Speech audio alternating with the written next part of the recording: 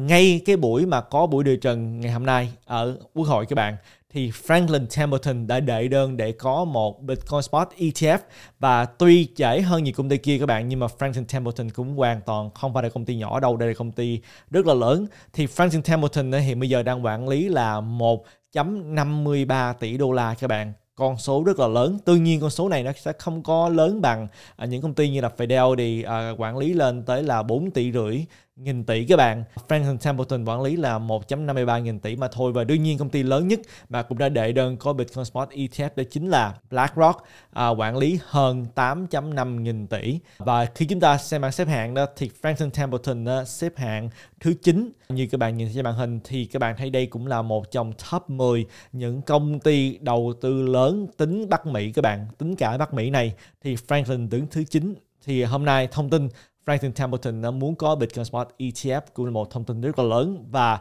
nó lại có ngay cái ngày mà Gary Gensler ra quốc hội rất rõ ràng để đưa ra một thông điệp là Forward muốn có Bitcoin Spot ETF những nhà đầu tư đang chờ đợi để đầu tư về Bitcoin Spot ETF và nói tới đây đó à, nhiều bạn hỏi thuận là có thể chia sẻ thêm về những gì đã xảy ra với lại vàng ETF hay là không. Thì thuận đã từng chia sẻ thông tin này cách đây cũng rất lâu rồi thuận muốn chia sẻ lại cách đầu tư ETF này đó, nó cũng không phải là lâu lắm các bạn. À, tuy nhiên chúng ta nhìn thấy được là ETF đầu tiên đó là vào năm 1993 thì nghĩa là cách đây hai mấy năm nhưng mà so với lại những cái dạng đầu tư khác đó thì ETF là một dạng đầu tư mà nó mới hơn và ngày lại càng được ưu chuộng hơn các bạn. Và cái ETF đầu tiên này chính là SPY liên quan tới chỉ số S&P 500. Nhưng mà nếu chúng ta nói riêng về vàng đó thì mãi tới năm 2003 chúng ta mới có vàng ETF đầu tiên các bạn. Nhưng mà cũng tương tự như là Bitcoin Spot ETF đó, vàng ETF đầu tiên đã có trên sàn chứng khoán ở nước Úc chứ không phải là Hoa Kỳ. Hoa Kỳ lúc nào cũng sẽ phải đi chậm một chút các bạn, tại vì thị trường Hoa Kỳ rất là lớn cho nên không thể vi phạm bất cứ một lỗi lầm nào liên quan đến cung cấp một cái dạng đầu tư mới như vậy. Thì Hoa Kỳ đã có vàng ETF hơn một năm sau khi mà nước Úc có các bạn. Và đợt này nếu như mà chúng ta có Bitcoin Spot ETF trong năm nay hay là năm sau đó thì nó cũng tương tự như là vàng. Tại vì chúng ta đã biết là những quốc gia như là Canada đã có trước nhưng mà chúng ta phải đợi một thời gian nữa mới có Hoa Kỳ. À, thì nó cũng tương tự như là vàng. Và khi chúng ta nhìn vào cái à, biểu đồ giá của vàng đó các bạn thấy được là giá vàng à, đã hoàn toàn không có nhiều cái sự di chuyển và thậm chí giảm các bạn từ năm 1000 987 giảm dài cho đến khoảng chừng là năm 2000 nhưng mà các bạn đã thấy được là ngay đây đó chính là vàng ETF của nước Úc. À, tuy là họ chỉ năm 2003 các bạn nhưng mà thật ra sau khi mà có vàng ETF nước Úc thì vàng cũng không phải là tăng trưởng nhanh đâu. Chỉ khi mà chúng ta chuyển qua tháng 11 của năm 2004 đó nghĩa là nằm đâu đây nè các bạn thì sau đó các bạn mới thấy được là vàng có một sự tăng trưởng rất là nhanh.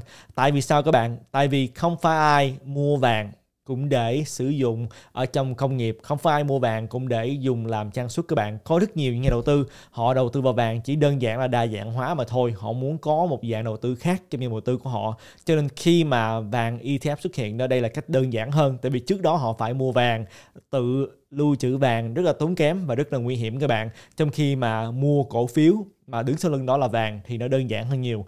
Cho nên nó đã mở ra một cái số tiền lớn đẩy vào trong thị trường này khiến cho giá cả tăng cao. Và đương nhiên đây cũng là lý do tại sao mà nhiều người kỳ vọng là khi mà Hoa Kỳ có Bitcoin Spot ETF đó thì nó sẽ mở ra rất nhiều tiền sẽ đổ vào trong thị trường này. Và dựa theo Eric Balchunas ở Bloomberg đó, thì ước tính à, trong thời gian khoảng chừng là 2 năm không phải là ngay lập tức giống như là khi mà vàng ETF có các bạn thì đương nhiên phải cần thêm một thời gian nữa. À, bắt đầu các bạn thấy là những người mà họ bán ETF đó họ mới bắt đầu là train nhân viên của họ rồi mới thuyết phục những nhà đầu tư rồi bắt đầu là mới à, có những cái vàng ETF vào trong những cái quỹ đầu tư lương hưu vân vân. Bitcoin Spot ETF cũng sẽ tương tự như vậy, cho nên cần một thời gian, nhưng mà trong vòng 2 năm đó, thì Bloomberg nghĩ là sẽ có thêm 150 tỷ đô la sẽ vào thị trường crypto này. Trong vòng chỉ có 2 năm thôi các bạn 150 tỷ thì con số không hề nhỏ đâu, trong khi các bạn thấy là cả vốn hóa của Bitcoin hiện bây giờ đó là 505 tỷ, mà trong vòng 2 năm, tiền mà vào thị trường này có thể lên tới là 150 tỷ đô la. Con số rất là lớn các bạn. Tại vì chúng ta đang nói tới là tiền đi vào chứ không phải là chúng ta chỉ tính vốn hóa không. Thì tại sao mà Bloomberg được như vậy? Thì dựa vào lịch sử của vàng à, đó là cái số tiền tương ứng và cái số lượng người mà đầu tư vào vàng chỉ để đa dạng hóa đó cũng có thể sẽ đầu tư vào Bitcoin. Đó là cái lòng tin đến từ Bloomberg các bạn và không chỉ riêng là Bloomberg, chúng ta nói tới JP Morgan, chúng ta nói tới Bernstein à, cũng có những nhận định tương tự như vậy. Nhưng mà Bloomberg đó là những cái người mà đã đi đầu nói là bây giờ khả năng rất cao sẽ có Bitcoin Spot ETF khi mà BlackRock vào cuộc. À, và vì nhiều lý do lắm à, và trong cái cuộc phỏng vấn này đã dài khoảng chừng nửa tiếng cũng đã cung cấp rất nhiều những thông tin mà cũng rất là có hữu ích đối với thuận để thuận hiểu hơn về những gì xảy ra à, hiểu hơn về phú Wall đang suy nghĩ gì liên quan tới Bitcoin Spot ETF và tại sao họ lại muốn có Bitcoin Spot ETF như vậy. Và sau khi có BlackRock vào cuộc, sau khi có thông tin liên quan tới Grayscale Bitcoin Trust thắng kiện, thì khả năng có Bitcoin Spot ETF tới Bloomberg đã nâng lên 75%. Đương nhiên không gì chắc chắn 100% hết các bạn. Đương nhiên khả năng đó cũng có thể là tất cả bị từ chối. Nhưng mà ngay bây giờ đó khả năng đó là thấp hơn nhiều so với khả năng được thông qua đối với lại Bloomberg. Và tại sao chúng ta lại thấy là những công ty phố Wall họ lại đang gấp rút muốn có Bitcoin Spot ETF Câu trả lời đó là liên quan đến lợi nhuận các bạn. Tôi đã từng chia sẻ với các bạn là Bitcoin nói riêng đó là một cái hệ thống vận hành theo lợi ích. Nó không vận hành theo bất cứ một thứ gì khác ngoài trừ lợi ích mà thôi. Và chính lợi ích đã khiến cho Bitcoin có cái sự thành công như ngày hôm nay. Các bạn đứng vững tới ngày hôm nay là mạng lưới mà có nhiều hash rate nhất.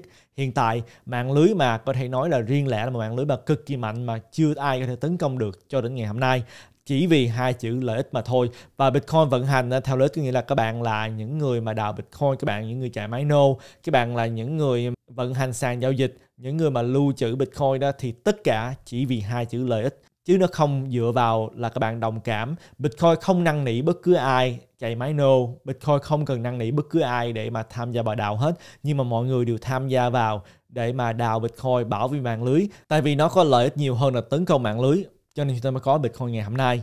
Và cũng tương tự, Bitcoin không có năng nỉ bất cứ công ty forward nào làm ơn đệ đơn để có Bitcoin Spot ETF họ đệ đơn, tại vì lợi ích của họ.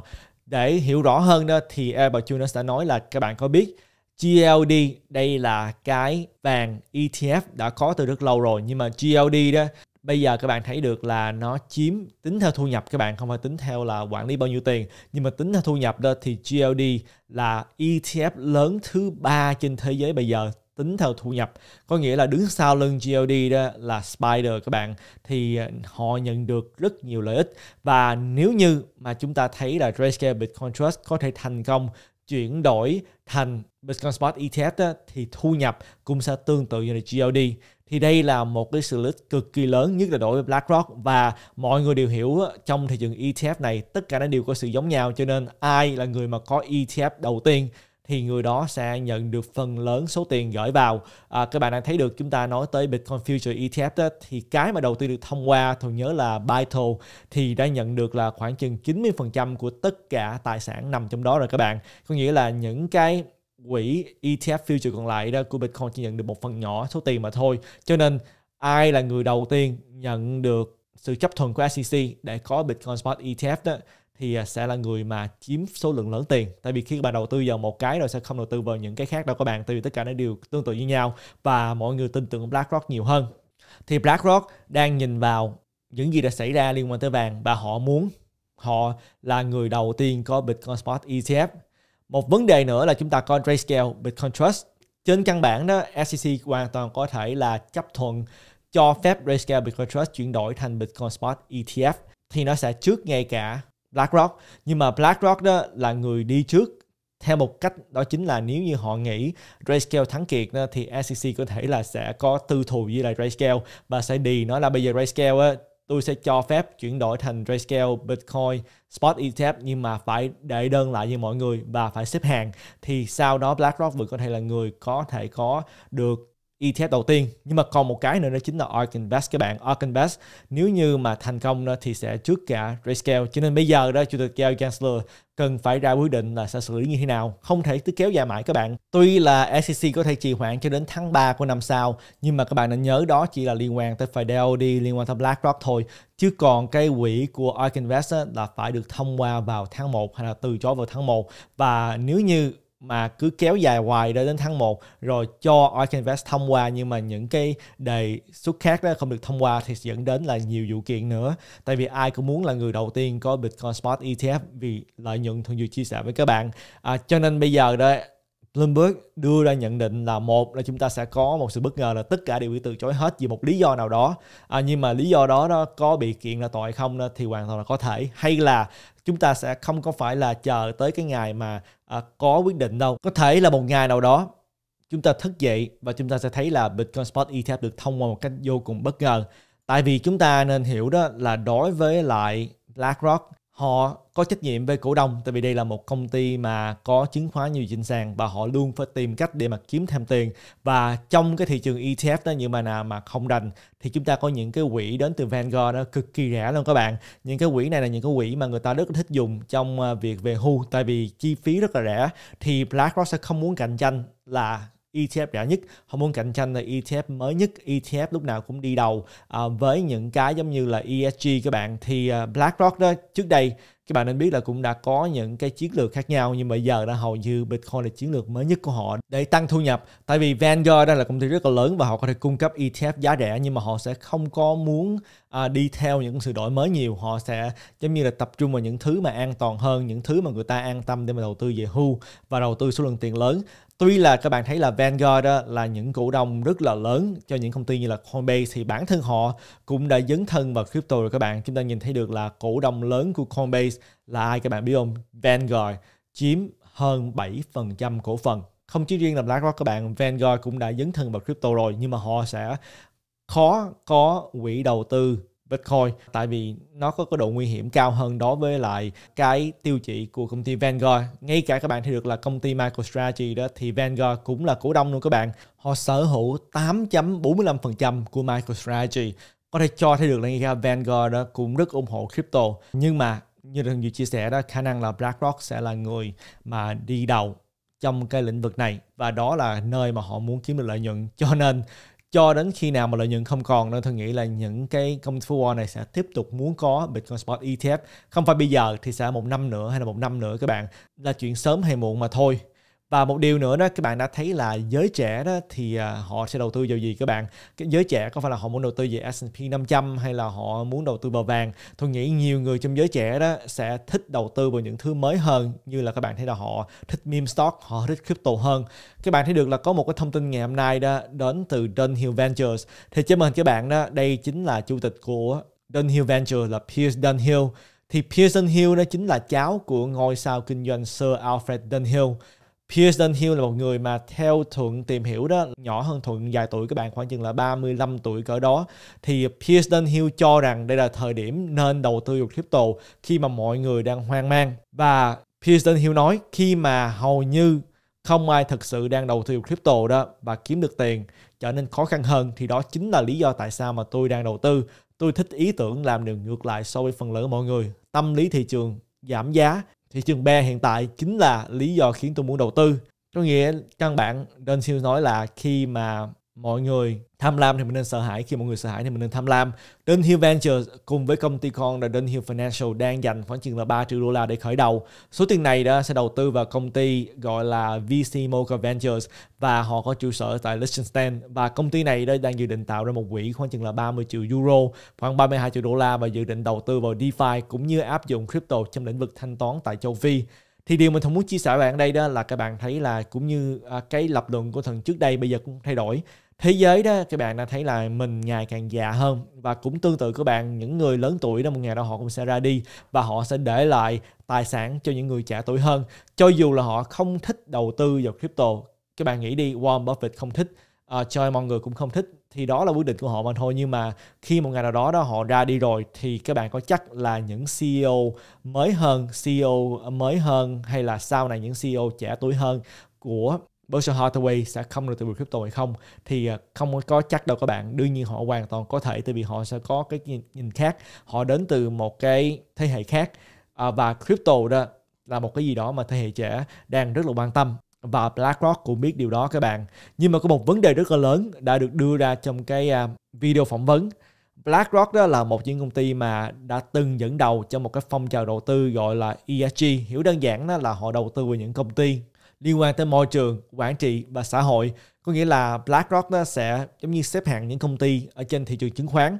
Và những công ty nào mà họ cảm thấy là tốt cho môi trường quản trị và xã hội đó thì à, họ cho một cái điểm rất là cao và sau đó được đưa vào à, quỹ đầu tư của họ. Rồi những người đầu tư họ cũng sẽ theo cái quỹ đó. Dẫn đến là các bạn thấy có phong trào ESG nhưng mà phong trào ESG bây giờ đó, nó cũng đã giống như nguội lại rồi. Tại vì qua một thời gian đó người ta cũng không hiểu là đầu tư những công ty này có thực sự giúp đỡ được cho môi trường hay là không hay là đầu tư nó cũng không có rõ là cái lý do để làm gì nữa các bạn. Thì nói chung đó ESG nó đã trở thành một cái gì đó mà BlackRock bây giờ ít nói đến và nhiều người tin á crypto đó chính là cái bước kế tiếp của họ. Nhưng mà vấn đề lớn là khi nói tới bitcoin đó thì nhiều người cho là bitcoin là một cái gì đó rất là tốn kém và lãng phí năng lượng. Thì làm sao BlackRock là một công ty mà đi đầu ở trong ESG à, nói là muốn bảo vệ môi trường nhưng mà lại đầu tư về bitcoin thì đây là một cái giả thuyết các bạn. Đây là, là giả thuyết mà thôi không có bất cứ bằng chứng nào. Nhưng mà chúng ta thấy được là cái thời gian đó nó thực sự là phù hợp. Sau khi BlackRock À, đã chính thức nói là muốn có Bitcoin Spot ETF thì chúng ta có hàng loạt những thông tin như là chúng ta đã nói tới cách đây không lâu liên quan tới uh, trường đại học lừng danh Cambridge thì họ cũng đã đưa ra những cái thông tin mới hơn liên quan tới bây giờ đào Bitcoin đó không tốn kém điện như nhiều người nữa và có thể dùng những năng lượng lãng phí để mà đào Bitcoin đó thì cực kỳ có lợi và họ đưa nhiều so sánh như là đào Bitcoin không tốn kém nhiều là đào vàng. Đào Bitcoin thật sự không dùng nhiều uh, điện như là người ta nghĩ. Uh, dùng điện nó chỉ uh, nhiều hơn là xem TV một chút mà thôi hay là những cái như thường thường chia sẻ với các bạn. Thì tại sao mà bây giờ họ lại đưa thông tin này các bạn? Tài liệu này đã có từ một thời gian dài rồi. À, nhưng mà tại sao tới bây giờ họ mới bắt đầu là update những con số? Tại vì những con số mà tôi vừa chia sẻ nó mới hơn. Một trong những giả thuyết đó là liên quan tới BlackRock các bạn. Các bạn thấy là mọi thứ nó rất là trùng hợp. Cambridge nói là bây giờ họ xem xét lại à, tuy là mạng lưới của Bitcoin bây giờ đã có nhiều hash rate nghĩa nhiều tốc độ đào nhưng mà điều đó cũng không nghĩa là sử dụng nhiều điện hơn tại vì bây giờ có nhiều máy đào nó hiệu quả hơn. Nói chung họ đưa ra nhiều cái lập luận mà cũng hợp lý nhưng mà thật ra mà nói là cái thời điểm nó cũng rất là phù hợp với BlackRock tại vì à, tại sao họ lại không update cách đây một tháng à, 5 tháng mà ngay thì bây giờ? Chúng ta cũng thấy một thông tin nữa là đến từ KPMG các bạn. KPMG hồi tháng 8 đó hồi tháng vừa rồi thì đầu tháng nó đưa ra một cái à, bài nghiên cứu nó là đào Bitcoin đó không những là không có hại mà còn tốt cho môi trường nữa. Tại vì à, chúng ta đã nói tới nhiều cái giống như là sử dụng những nguồn điện lãng phí và khi cần thiết đó thì à, có thể là ngưng đào. Giống như là chúng ta cũng nói tới những cái thông tin đến từ những tiểu bang như là Texas các bạn thương nghị sĩ Ted Cruz cực kỳ ủng hộ. Rất là nhiều những bài báo bây giờ lại nói tốt gì đào Bitcoin thì mọi thứ đều rất là trùng hợp. Khi mà BlackRock bây giờ muốn đầu tư vào Bitcoin nhưng mà lại uh, muốn giống như là phai mờ đi ESG không muốn nói về đầu tư liên quan tới môi trường nữa thì mọi thứ nó rất là trùng hợp. Bây giờ chúng ta còn một số những thông tin khác nữa tôi muốn chia sẻ với các bạn trước khi mà kết thúc video này nhưng mà thuận sẽ lướt qua tại vì video cũng đã khá dài rồi. À, chúng ta có thông tin liên quan tới Ripple thì uh, trong cuộc phỏng vấn ngày hôm nay với CNBC đó thì uh, CEO Brad Garlinghouse cũng đã khẳng định là sẽ tiếp tục chiến đấu đến cùng với SEC có nghĩa là trong cái uh, buổi party cuối tháng này. Tại vì uh, theo thần biết là sẽ có một cái buổi party diễn ra được tổ chức bởi công ty Ripple và có rất nhiều người đầu tư XRP sẽ đến dự ở New York. Và trong cái buổi party đó nhiều người à, nói là có khả năng là công ty Ripple sẽ thông báo tin tức tốt là họ đã bắt tay và hòa giải với SEC nhưng mà dựa theo bài phỏng vấn này Ripple CEO nói là sẽ chiến đấu cho đến cùng các bạn sẽ không hòa giải nào hết. À, chúng ta cũng đã thấy được là Binance US ngày hôm nay đây cũng đã phản hồi yêu cầu cung cấp dữ liệu và điều trần từ SEC và họ gọi đó là một hành động vô lý, ép buộc không cần thiết. Thì chúng ta đã biết là Binance.us đang bị kiện bởi SEC và bây giờ cập nhật mới nhất đó là SEC đòi có một cái buổi điều trần à, đòi cung cấp thêm dữ liệu nhưng mà Binance US nói là đây à, là hoàn toàn à, vô lý và lý do là tại vì SEC chưa hề cung cấp bất kỳ bằng chứng nào để hỗ trợ cáo buộc là các khoản tiền khách hàng đã bị chuyển trái phép bởi Binance US. Và nói tới Binance US cũng có một thông tin đáng tiếc các bạn. À, chúng ta đã biết là Binance US đã gặp vấn đề liên quan đến à, có thể cho người ta nạp và rút đồng đô la tại vì họ mất cái đối tác ngân hàng sau khi bị kiện bởi SEC sau đó các bạn thấy được là cách đây khoảng chừng 2 tuần thì có thông tin là Binance US đã có sự hợp tác với MoonPay. Nó cũng không có phải là như ngân hàng trước đây nhưng mà ít ra cũng có cách để các bạn có thể là nạp đồng đô la vào rút đồng đô la. Nhưng mà điều này cũng không có đủ để chúng ta thấy là Binance US tiếp tục có thể cạnh tranh với những sàn ở Hoa Kỳ như là Coinbase, Gemini. Và cuối cùng là Binance US đã sa thải khoảng 1 phần 3 nhân viên khoảng 100 người các bạn. Nhưng mà sau đó nó đã có thông tin là CEO của Binance US như là Binance Hoa Kỳ đó là Brian Schroeder đã chính thức từ chức rồi. Đây là thông tin rất là mới được chia sẻ bởi Bloomberg và cũng không để rõ là lý do tại sao mà Brian Stroller từ chức. À, Thuần chỉ nghĩ là Binance US nó giống như là một cái công ty đó đang từ từ à, tuy là vẫn chiến đấu với lại SEC nhưng mà giống như là một công ty nó đang từ từ đã thu mình lại rồi các bạn có thể là tương lai Binance US sẽ không có như là Brian Stroller đã từng nghĩ nữa cho nên mới từ chức khi nào mà có thêm thông tin gì thường sẽ chia sẻ với các bạn và chúng ta cũng có một thông tin đáng tiếc ngày hôm nay đó là sàn CoinEx à, mới đầu đã có thông tin là đã bị hack các bạn và cuối cùng họ cũng đã confirm là họ đã bị hack với số tiền là 28 triệu đô la cỡ đó. Và số lượng tiền bị à, đánh mất đó là Ethereum, Tron và Matic thì à, uh, CoinEx họ nói họ đã nhanh chóng mở cuộc điều tra và đảm bảo với người dùng đó là số tiền của họ vẫn an toàn. À, số tiền bị hack họ nói là từ cái ví nóng của họ cái ví mà dùng để cho các bạn nạp và rút thường xuyên đó. Thì CoinEx nói họ đã tạm ngừng deposit và withdraw. Không biết bây giờ đã mở lại hay chưa? Lúc nào cái video này. Nhưng mà họ đã nói là họ sẽ đảm bảo với tất cả người dùng là tài sản của bạn vẫn an toàn và không bị mất. Những ai bị ảnh hưởng sẽ nhận được bồi thường 100% cho bất kỳ tổn thất nào từ sự kiện này. Sự thật đó là các bạn thấy là sàn sẽ bị hack, đó là điều khó tránh. Đương nhiên những sàn mà có uy tín từ bao nhiêu năm nay thì họ sẽ có sự bồi thường. Nhưng mà chúng ta cũng nên tự bảo vệ và tự lưu trữ crypto. Đó luôn là tiêu chí của thuần các bạn. Sàn giao dịch, đây gọi là sàn giao dịch thì dùng để giao dịch mà thôi, không nên dùng nó để mà lưu trữ tài sản các bạn chỉ lưu trữ số lượng cần thiết khi các bạn giao dịch thôi và chúng ta cũng có thông tin là ngày hôm nay các bạn đã thấy là Carl Greenwood, đây là đồng sáng lập của OneCoin đã bị kết án 20 năm tù. Wow các bạn, đã nhiều năm rồi chúng ta không nghe nói tới OneCoin cũng đã một thời OneCoin cực kỳ nổi tiếng ở Việt Nam luôn. À, và đối tác của Carl đó chính là Rucha Ignatova À, người mà các bạn đang nhìn thấy bên dưới này theo thông biết là khoảng 43 tuổi. Người này bây giờ vẫn đang lẫn trốn. Người này có biệt danh là nữ hoàng crypto và hiện đang nằm trong danh sách 10 người bị truy nã hàng đầu của FBI. Và Bộ Tư pháp cho biết đó là cuối cùng đây là vụ lừa đảo có giá trị lên tới 4 tỷ đô la. Không biết còn bao nhiêu bạn nhớ về OneCoin.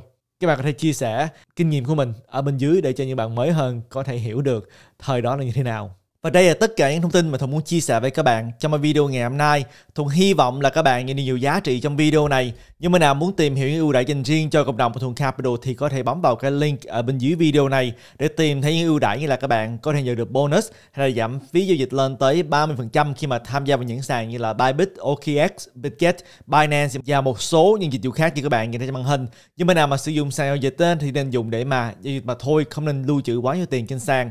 Và Thuận sẽ hẹn gặp lại các bạn trong video kế tiếp. Tạm biệt các bạn.